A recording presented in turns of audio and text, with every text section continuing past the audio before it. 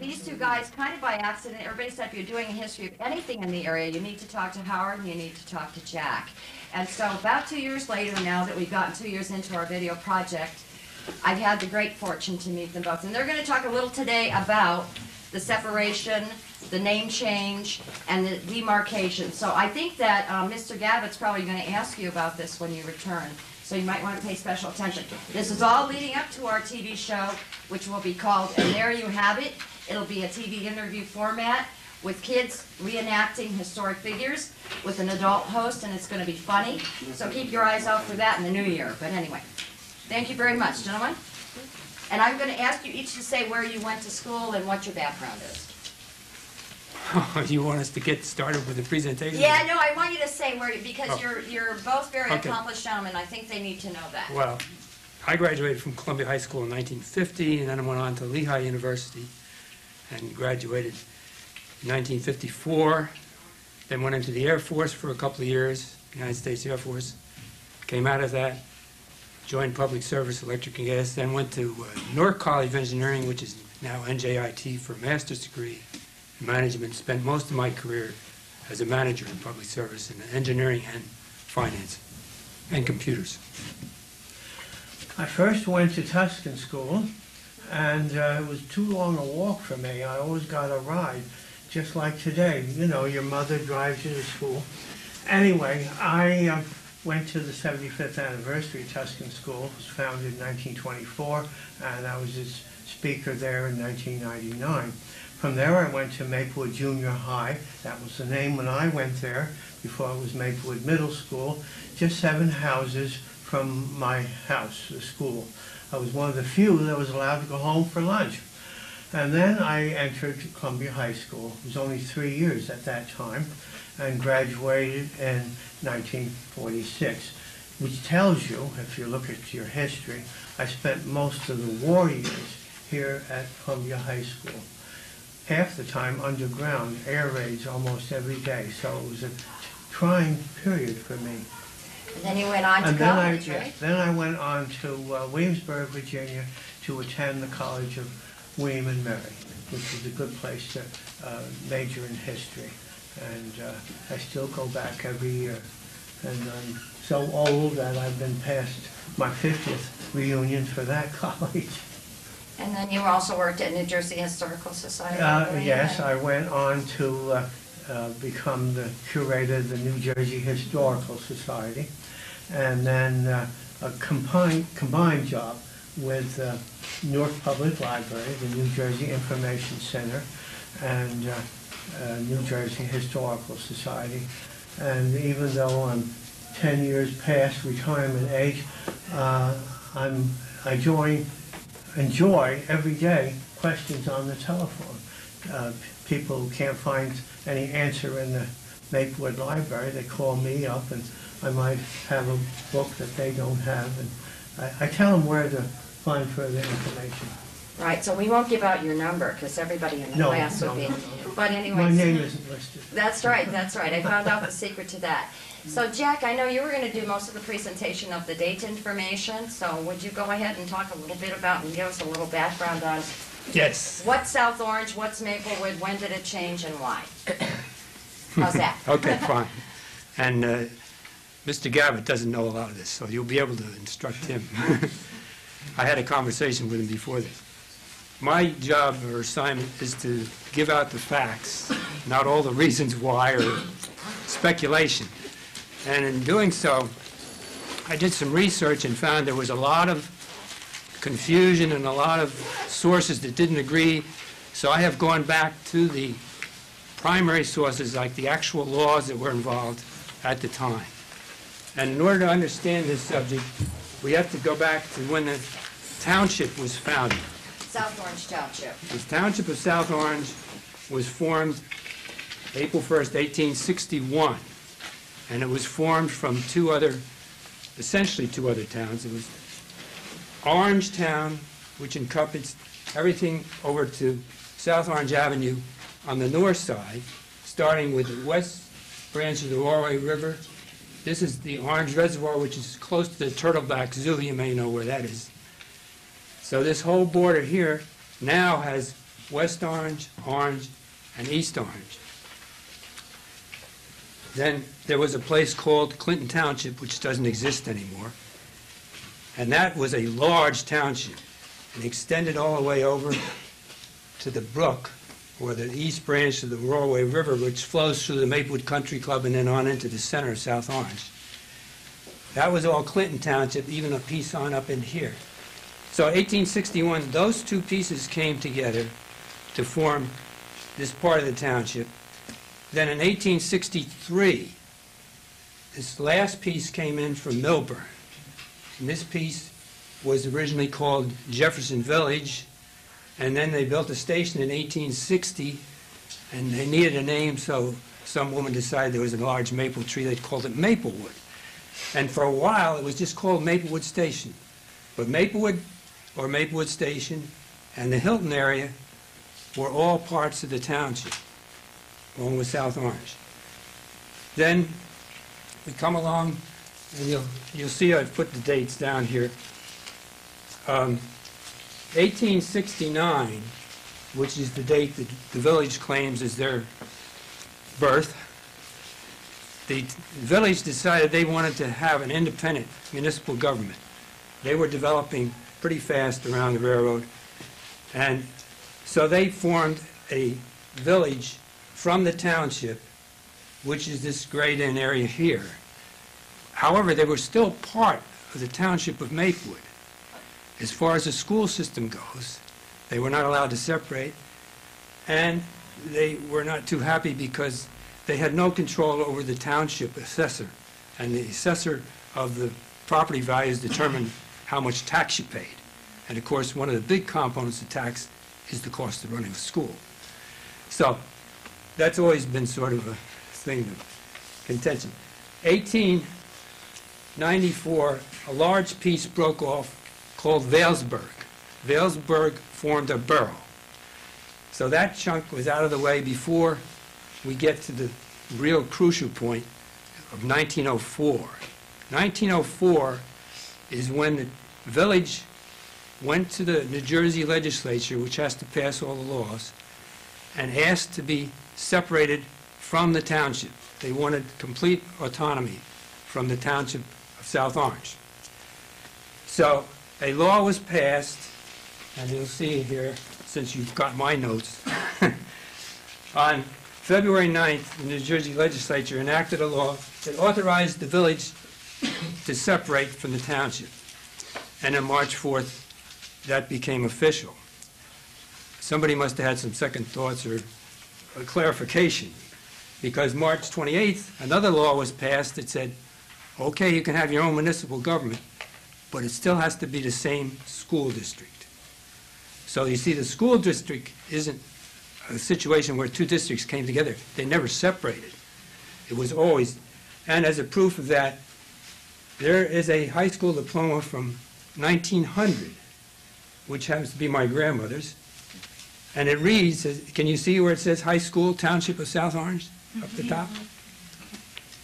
That was the old Columbia High School, and it was located right here. Not too far, you know where the Presbyterian Church is in, uh, so, At the- at the well, flagpole. anyway, South Orange Avenue and then Irvington Avenue, right about there is where the school was. So, we got to 1904, the separation. So, at that point, the school then became South Orange High School. It wasn't the township or the village high school, now South Orange High School. This is my mother's diploma. And the, one of the signatures is Henry W. Foster, the one who wrote the book on the history of the school system. Whose plaque is at the front door as you're exiting out the door. On the left, if you look, guys, you'll see the plaque to dedicate it to Henry Foster. Henry Foster, yes. He was, he was superintendent of schools from 1900 until Columbia High School was built in 1927. So this diploma was June 1922, was the last diploma issued under the South Orange High School. It then became Columbia High School. And Foster is the one that brought in the junior high school system. You probably don't know too much about that, but when Columbia High School was built, the school in South Orange had been called Columbia, or earlier than that, Columbian School, and there would have been confusion with the name. So Foster decided the school for junior high school in Maplewood would be changed from Ricalton to Maplewood Junior High School, and the one in South Orange would be changed from Columbia to South Orange Junior High School. So that avoided that confusion. Now, 19, so we have two pieces here, South Orange Village and everything that's left of the original township in 1922 decided it was time to change the name to something other than South Orange Township. So it was voted that they change the name to Maplewood. And that's how Maplewood became Maplewood. It became Maplewood in 1922. So you see, we've been all one big happy family all the time, right from the beginning. And, and that's also why we share the same school district. Exactly, because in 1904, in ni- March 28th, the New Jersey legislature, as I mentioned, passed a law mandating that the village stay within the township school district. So it wasn't a matter of preference or anything, it was a law of the state of New Jersey, They were- they were not allowed to separate. So the key dates, formation of the township, 1861, then the separation of the village in 1904, and you'll find a lot of conflict on that. And in your notes, which are copies of my notes, you'll find where I went to the actual statutes, and it's rather interesting to read them, because the first one, in chapter two, it says separation of the village from the township, and then you look on the other sheet, which was passed later on, it says the village to remain in the school district, about the third paragraph down on the page. Well, thank you, Jack, because I think to this day, a lot of people don't know the date. When we were researching the movie, I got conflicting dates, and we had to go this place and that place. So we wanted you guys to have the Right. official word. And here is a commemorative issue of the news record, and they took some headlines from the old papers, and here's a 1904 headline. It says, "Election results could separate the village and the township." And it gives some background. They actually had a, they called it the Duffield Bill because that was a guy from South Orange who sponsored the bill in the legislature. I had one other diploma, just to show you the final change for Columbia High School. Columbia High School, School District, South Orange and Maplewood. And that's yours. John Seabout, me. That's it. So we have three generations here. Thank you. Well, Howard, why don't you tell us a little bit of something that you know, because I think we have a few minutes left. When is class let out, everybody? 305. Okay, good. Jack called me the other day, Howard, do you have your diploma? I said, oh my God, I can't find it. I've been in the same house 75 years, and of course, it's very easy to lose something. That's the story of my life, I never can find anything. But notice how much smaller that uh, diploma is than grandma's. You got your money's worth in 1900. Well, 40 years ago, my biggest investment in buying a book is this book, The Evolution of Public Education in the New Jersey School District by Henry W. Foster. Uh, came out in 1930.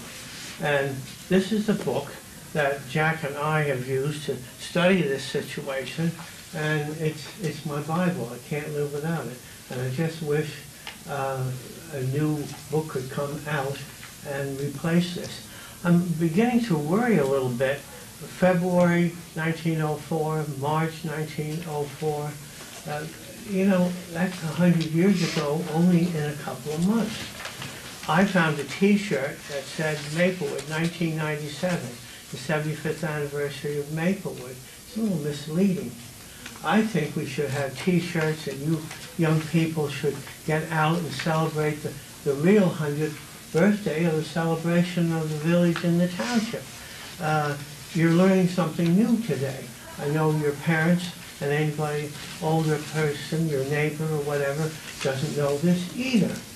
And of course, I uh, did a little studying last night, and I can't help but tell you, I went back one page from 1904 and uh, sure enough, a famous person is, uh, came to Columbia. Susan B. Anthony, remember her? She's on those dollars that nobody uses. Anyway, on March, on May first, uh, in nineteen oh two, as an elderly citizen, she came to Columbia High. The one that, uh, Mr. Bowles just uh, mentioned. But on the next page, it tells you all the board meetings and the discussions that led up to the laws that eventually got passed here. And a little bit later on, I noticed decay was discussed at the Board of Education. What do I mean? There was a period of criticism of fads and frills. The girls started to show their elbows and their ankles. They weren't wearing long dresses. They weren't covered from head to toe. And the boys were uh, wearing less and less. Uh, does- Doesn't that sound a little bit new? Um, I know you probably uh, live it up over the weekend. You, you, you wear, wear something else. Uh, Uniforms uh, aren't required now, but everybody wore black back in 1904. Uh, So if you're gonna reenact this hundredth anniversary, um, you know, I'll, I'll help you, uh, tell you what kind of a costume you should have. Also, there were only five students studying Greek. Does Columbia High teach Greek now? No. Well, it was taken off in uh, 1906. And there was a lot of interesting things happened here. You know, all comments at the Board of Education took place, you know. As far as myself is concerned, um, I do want to uh, tell you, oh, one more thing. A man from J- Japan came and visited here. He didn't know enough English. And so he wanted to study here. And he came here in 1903. His name was Wachi Siki. And he was a college student. But he was about five years older than you students. And um, he was looked up to by the students. And he loved Columbia High. I do want to ask a question. Do you still have foreign students coming here? Yes. You have a few? Well, I hope you're learning their language, you're learning what they went through before they came over here. I think it's very important. It wasn't possible when I was here because World War II was taking place. So here we have the kind of a, in quotes, an exchange student back here in 1903. His picture's in this book. It's 204. It's on reference. I just wish they would reprint it because it's fascinating. I like the back part. That's why I don't know too much the detail, which Jack knows, because the teachers that I had are listed here when they started teaching. And my former neighbor is almost 100 years old, and she's the oldest living graduate, Mary Huggan Kunsa, who's the class of 1922. So imagine someone graduating 81 years ago is still with us. And she's here, and all the graduates up through 1927. Kind of a Snoopy type of thing. Um, Some senior citizens don't like to tell their age, but uh I know how they are, how old they are. Uh, You just subtract 18 from the year they graduated. So it's, it's been a lot of fun for me, and this is what I do uh, as a retired historian, and wait for the phone to ring and, and see if I can answer a historical question. Maybe the kids have some questions. Does anybody have any questions about uh, anything that went on during the separation? Go right ahead. What was it like? Like, what did you do for fun? What did you do, like, in school? What, what were some of the things you did as teenagers in South Orange High School? What did you do when you were a teenager in high school? What kinds of fun things or activities Well, did there's you do? more time. I, I collect stamps uh, f- and pasted them in a book, and then you got a bond, and, and I stepped on cans because you let those pile up, and, and you uh, got rid of your metal for bullets, I guess, and uh, it wasn't too much fun. You have a basement here. The old cafeteria was down in there, and, uh, oh darn it, uh, air raid again. And, uh, well, you know, the Germans got close to the American coast here, and uh, it was lots of that. I did have a class up in the tower, 404, and uh, we kept looking out the window. Oh God, you think a plane's going to come any minute, you know? But the most disturbing thing was your clock. My class was at, at 12 noon, and I thought the plaster was going to come down. Thump, thump, you know, 12 times just above us, and you're in the, I don't think they use it anymore. We couldn't use an Astronomy elevator. club now, but What? it's astronomy club now, but Is that what they it they only meet like. Well, we, we, we looked for airplanes, but Miss Freeman was up there, and of course she uh, arrived out of the elevator refreshed as anything, and we're, uh, you know, panting and almost had a heart attack climbing up the four, this. four flights of stairs. Well, teachers must have rights, you know. What? Teachers must have rights. Yes, but at my fiftieth anniversary, I was allowed to go in the elevator for the first time. Any other question? Young lady at the end. Did you go out for lunch? Do I what? Go out for lunch? Were you allowed to? I, uh, at junior high, yes, because I'm only a few feet away. Not here, Uh, though? no, No. not here, no, none. I notice that you do now, and there's a nice restaurant near, uh, Oakland Road, is it? Anyway, I, I, I see you uh, enjoying the fresh air, but no, um, if you went to Maplewood Junior High, yes, I did. By the way, anybody from Maplewood live near Salter Place? Where, where is Salter Place? Behind the junior high school. It's near the Oh, junior high. I Nobody knows where that is? I live on South Crescent, so. Well, I don't want to embarrass this gentleman, but Salter Place, which is right in back of me, is named after his great-grandfather. Because his mother was uh, Ruth Salter, and his grandmother was uh, Charlotte Salter, and uh, the next generation was uh, uh, Reverend R. Newton Salter. And that's Salter Place. So uh, find out what your street is, and you'll uh, be named after a famous person. Anybody live on Kroll Place? If you live on Kroll Salter Place. Right? That- But if you're on the Crescent, there's no Mr. Crescent. By the way, You know what? Parker Avenue was Kroll Road before they named it That's after right. some Democratic governor, so I have a little bit of So problem you with have- the change in yeah. name of Parker Avenue. Maybe we'll Yeah. do that. Named after a governor. Uh, Howard and I had slightly different interest in high school. By the time I got to high school, the war was pretty much over. I went through the air raids in Tuscan school. I also went to Tuscan. So I was a lot more, I was in the scouts and collecting right, right. papers and things like that. But by the time I got to high school, I was a lot more interested in girls and tin cans, I'll tell you. In fact, my brother went to Columbia High School, and he was in the air raid squad. And uh, he did civil defense work. Young man in the back. Um, well, this is basically a follow-up to Alex's question, but do you know when the first extracurricular activity was introduced?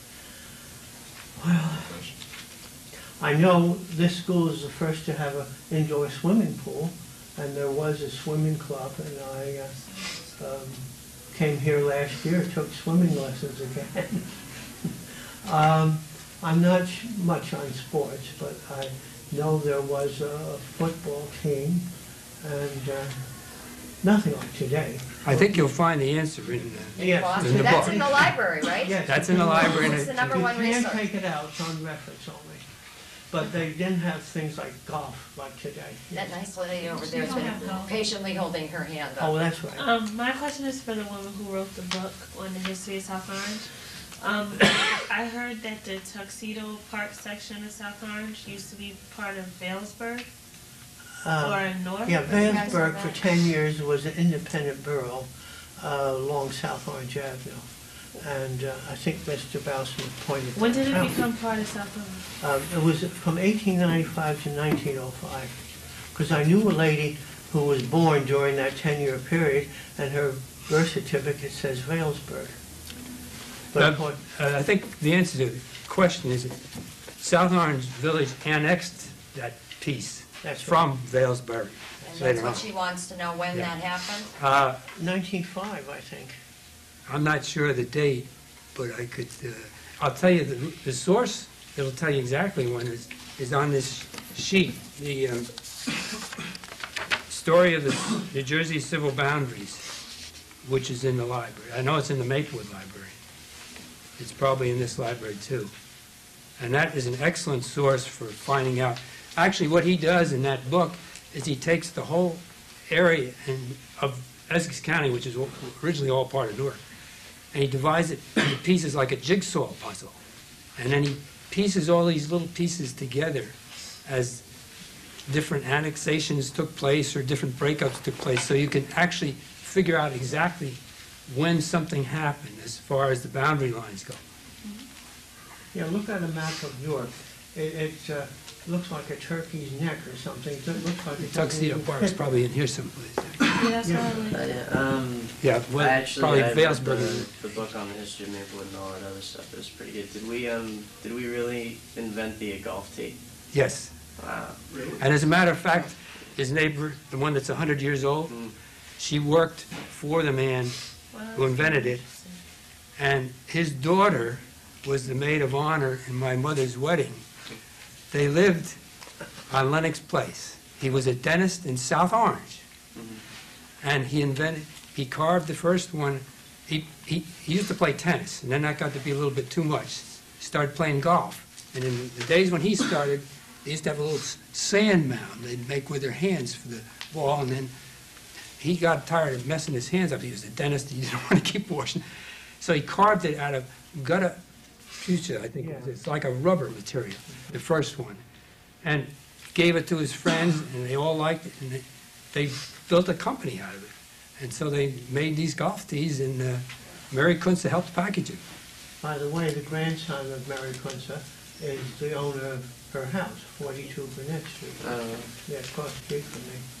Yeah, and I would like to know how many students went to Columbia High School at the time uh, when, about South Orange. 1904, you mean? yeah, 1904. It's in the book. It's in here. How about when you guys went to school? How many were in? Oh, a lot. See, 500 for me. How many years current? 2004. no, no, wait a minute. Now, you're talking about your class. Yes, I'm talking about my oh, All How about that's the not, whole he's talking the whole How school. about the whole school? How many in the whole school? Oh, school? but you've added, you have added ninth grade since Yeah. we've been there. See, there'd be about 1,500 when we went there if there were 500 in a class. I don't think mine, Yes. mine was 400 and something. I don't think it was as big as his. But grandma's was 12. Oh, by the way, she had a 50th anniversary. And I looked out the Well, window, I thought, oh my God, she's entertaining, what's going on? She had the entire class almost uh, there at her house entertaining in 1950. In 1950, over 50% of the class showed up. Over 50%. And she graduated 50 years to the day that I did. That's So she was allowed to come to my graduation at Columbia High. It's- Normally, it was just for parents. And that's when I graduated from William and Mary, so it was a very eventful year.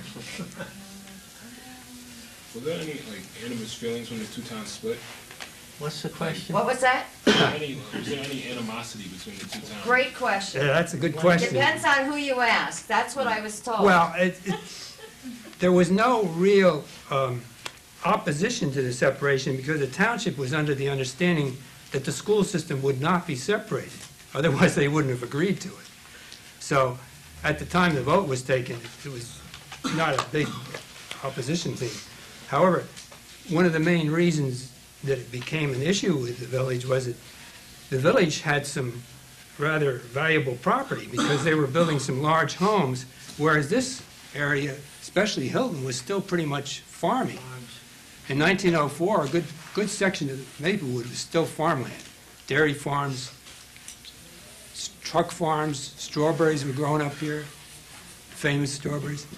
So your school tax, or the amount that has to be contributed to pay for the schools is dependent upon taxation and valuation of property. So the village thought their valuations were pretty close to 100% and a lot higher than this area over here, which was farmland. And they didn't, they thought this value was coming up faster than the assessor was assessing it.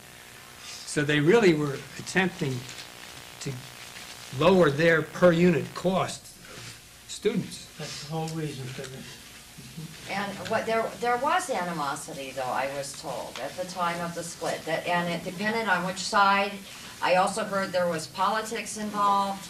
Is none of that true and only local legend? Well, there, at the meeting where they proposed the separation, there were members of both South Orange and Maplewood. And there was no real opposition because the understanding was that the school system wouldn't be separated. And that was the heaviest tax burden. Plus, South Orange Village wanted to, at that time, they put in a new sewer system, I think it was 1903.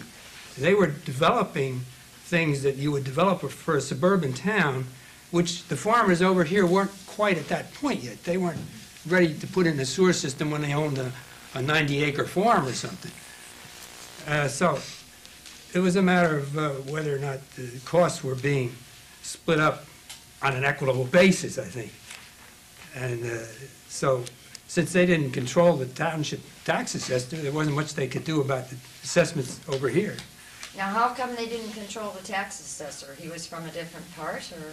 Well, they both had a town, the township tax assessor assessed this part. Right. The village tax assessor would only be Oh. limited to the village. He couldn't, he couldn't control this area. And, and was there some truth to the fact that people just kept getting confused, so it made a whole lot more sense to call Maplewood Maplewood instead of South Orange Village and the Township of South Orange? I think so.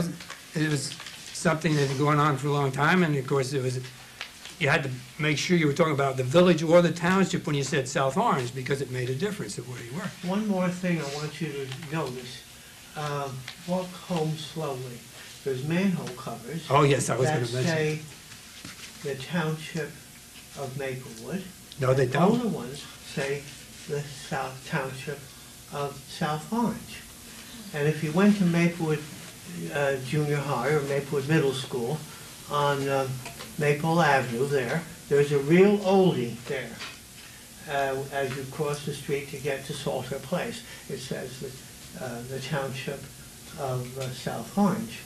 I think that's true of most of the manholes in Maplewood. Yes. Both of the ones, I live on Jefferson Avenue, and I went out and checked it just before I came Did you? over, and they say the Township of South Orange on the manhole cover. So there, you go for something that was in place back then, and you'll find out the true story. History is below your feet. Look. Right. Um, I had a question about, just about your opinion. A few years ago, there was an issue brought up about changing the name of South Orange to South Mountain. How did you feel about that? I, I, She, you remember a couple of years ago, there was a movement to change uh, South Orange name to, I, they Oh, had I various see. choices. Mountain. Yeah. uh, How did you guys feel Uh, I, about? I opposed it because it's not from the fruit that grows, oranges. Orange means the house of Orange, the, ru- the ruling house of the Netherlands. And we have East Orange, we have South Orange, and we have West Orange, and we have Orange. It's named historically after the Netherlands Right. a ruling house. And if you study your history, one of the first settlers up in this area were Dutch. Jack's about to say something. Well, I'm surprised nobody asked why there isn't a North Orange. There's a North Because- Orange back I mean, Looking at the map, of course, if Orange You know what? is here, it- that's west of Orange, this is east of Orange, this is south of Orange. What was north? Montclair. Montclair. And that was formed from Bloomfield. Glen Ridge, Bloomfield. So the, the northern border of Orange was Montclair, Bloomfield, those areas.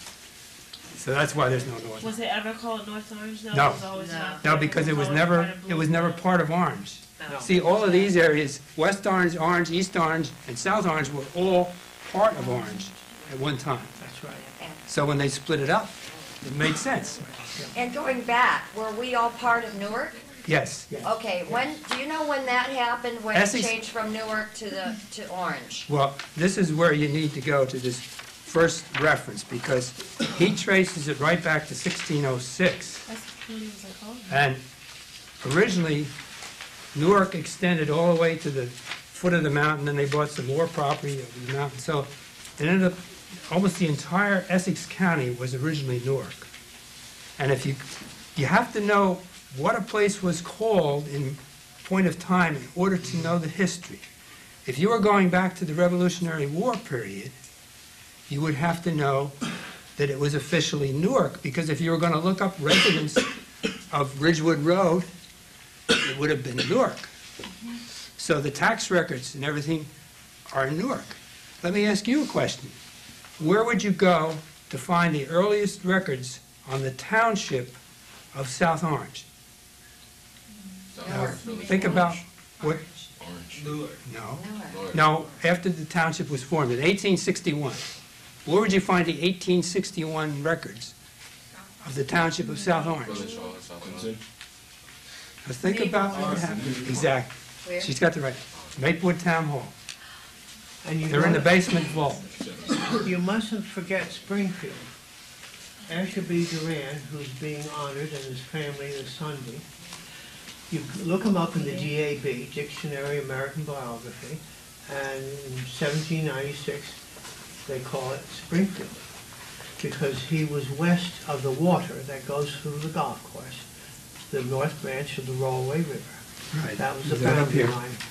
And that part was Springfield, which became Springfield in Uh, 1792, I think it was. But he wa- is listed as being born there and died in Maplewood. People read his biography and thought he died in a different town from where he was born. It isn't, it's the same. So we have a very complex history. You gotta think of the date and where are you and, and today, because Hilton was separate. Hilton means hill town, a town on the hill. Go down to look, look up Springfield Avenue, it's all uphill. That's where strawberries were grown. And interestingly, it, um, Hilton got its name because they applied for a post office when they were called Middleville. Yeah. In 1880, there already was a Middleville, New Jersey. So they had to pick another name, and that's when the name Hilton came in. Hilton had a post office long before the center of Oh, Maplewood. yeah. Maplewood had to go to South Orange for first-class post office all the way up until uh, Yeah. 1957 or something. Easily.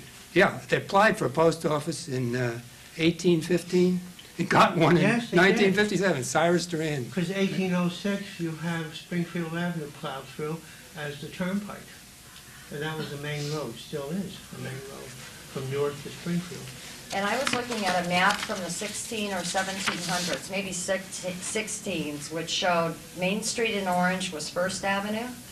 Do- Does this make any, it? yes. Uh, Ridgewood was Second Avenue, and South Orange Avenue was Third Avenue. So this is going way, way back. So that gives you an idea, I guess, of what the main thoroughfares. There weren't many streets, no, and the, the streets, essentially, Ridgewood Road and Valley Street were old Indian trails. One Really? going valley and the other. Just as a matter of interest, um, here is a page from the ledger, the minutes of the meetings of South Orange Township, which I copied out of the vault of the. And I was looking, just to make sure I was correct, that the Township of South Orange was actually recorded as that, and not as something else, because I've read different things.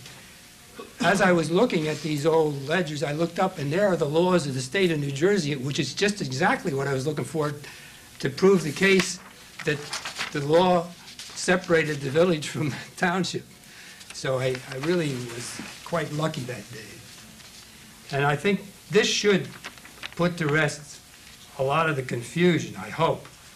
Because if you go to sources, you know, you can find Forster's book, and you can find a lot of these booklets that are put out, like uh, uh, More Than a Train Stop for Maplewood and South Orange has put out booklets. And some of them rely on copying from a past booklet, and another one is copied. And somebody along the line copies the wrong thing, or gets the wrong. information. So, please, if you really want to document something, and if you want it to make, make it realistic and true, find the primary source. If it refers to a law, see if you can find a copy of the law and read it. Usually, it's a lot clearer than the interpretation. Anybody from Ridgewood Road? Well, that was Grub Street, Rob. G-R-U-B. I'm glad they changed it. They thought this was a comical map that uh, Cyrus Durand made in 1815, and he named the streets like Grub Street. Well, He lived on Ridgewood Road. That's where he got his food, Yeah. Howard. That's why he called it Grub. Street. Ah, Grub Street. And Jefferson Avenue was Dominy Street because that's where the, the The Dominy minister. lived, the minister Exactly. lived there. Exactly, reason for everything. And that's true when you start searching, and I think Naomi, your book points this out as well, that all the streets in town have Have relevance, have meaning, either at the source of the churches, if you go to the churches, even the synagogues, Yeah. the names of the original parishioners are street names. Spear Drive and Comstock Place is because of two guys who uh, argued this problem back in 1904. Um, why was the uh, archi- the original architectural design of Columbia High School in the uh, Encyclopedia Britannica? For, Well, it was so great. First one to have a swimming pool, first one to have a tower, working clock with bells.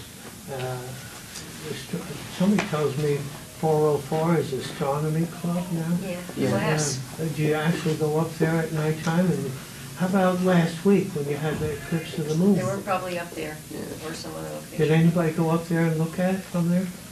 Uh, I'm Dr. not, No, it was outstanding. Oh, really? Outstanding. And even though, you know, it's uh, 75 years old, it's still outstanding. Because you people are in it. Any other questions from our two guys, or Naomi actually for that matter, who's back here as well? Can I There's a- just talk about the social life? Absolutely. This is actually from Mr. Foster's book. Uh, Beginning in the 1890s, physical activities were seen as positive for healthy development of children and young adults. In 1913, however, there was concern about the new freedom in dress and of animalistic dances. Corsets and long dresses were being put aside as they interfered with athletic activities. Animalistic excitement was also a concern, as officials noted that musical rhythm of the wilds of barbarism stirred the pulse. The refined waltz and polka were out, replaced by the favored bunny hug, turkey trot, foxtrot, and shimmy. In March 1913, the Board of Education stated that all social activities should include only polite dances and exclude the turkey trot and all others of similar character. So there you have that wild social So are they discussing rap music now? Here's a uh, headline, this is a commemorative issue of the News Record, but in here it discusses some of the different points of view, and it it said the election could result in the separation of the village. So you're saying there was no animosity? It Well- was just simply a matter of practicality based on Being fair. Yes, tax? and and there were several attempts after 1904 to separate the school district. It didn't die with 1904. The village went after it several more times, and they set up a select committee, I think it was in 1906 or 1907, about the third try.